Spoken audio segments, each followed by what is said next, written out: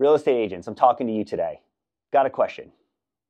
Have you ever had a deal fall apart after the contract was accepted because you found out that the buyer no longer qualified or that they wanted out of the deal entirely? Or here's one more for you. Have you ever asked your lender the question, hey, you gave me a pre-approval letter for 400,000. The contract's for 400,000. Why does my buyer no longer qualify? One of the most important pieces to the pre-approval process is running payments before an offer is made so that you can ensure that that pre-approval letter is one valid, two your offer's made with confidence, and three that your buyer understands what their payments, their cash to close, and any possible questions they have are answered before that offer is accepted. Let's work out the kinks and let's work out the questions before that contract is accepted so that the rest of your process is as smooth sailing as it possibly can be. If your lender is not doing this for you, or if you're working with an outdated pre approval letter,